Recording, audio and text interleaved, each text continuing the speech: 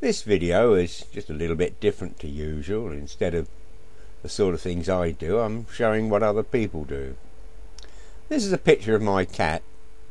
Unfortunately, she's no longer with us, but we had her for 14 years. And this picture was painted by my granddaughter. I've certainly got the likeness, and uh, it was a nice birthday present. She got tips from a relation of mine who paints seascapes and he's really talented and he seems to get a lot of action into his seascapes. And he seems to make the water wet.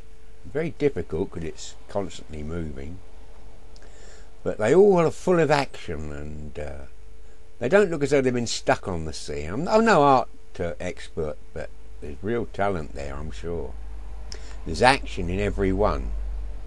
And even when there's no action such as in this one is even painted the heat of the day. Well, that's how it appears to me. My wife's favourite is um, one of a Paris scene. Uh, I think he copied it from a postcard or something similar.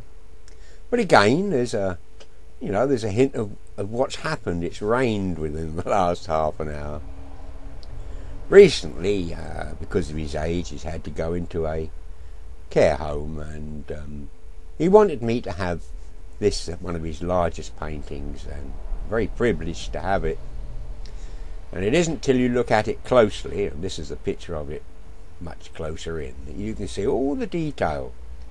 And he's actually painted the wind. I can't describe that any better, but that canvas is under tension and everything is right about it.